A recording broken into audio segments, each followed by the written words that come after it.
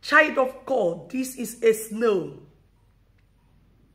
Snail represents sluggishness, setback, limitation, stagnation. Year in, year out, you are in the same spot. In your marriage, no movement. In your business, the same spot, year in, year out.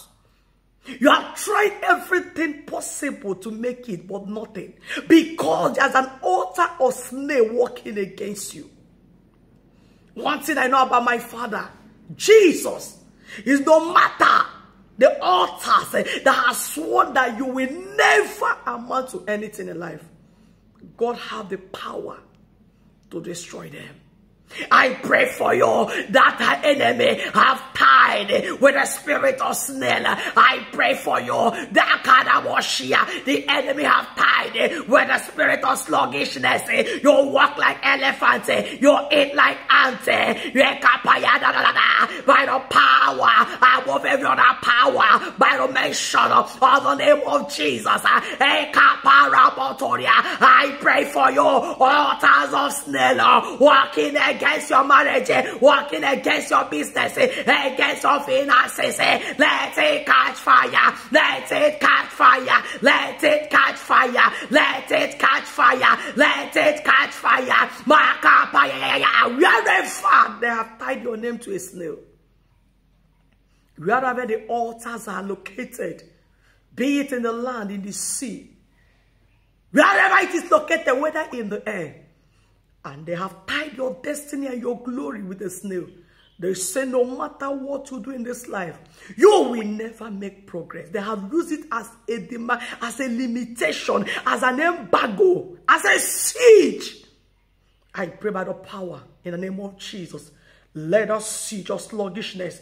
Let that embargo of limitation be broken now. In the name of our Lord Jesus, receive your deliverance. Receive your deliverance. Receive your freedom. I pray for you henceforth.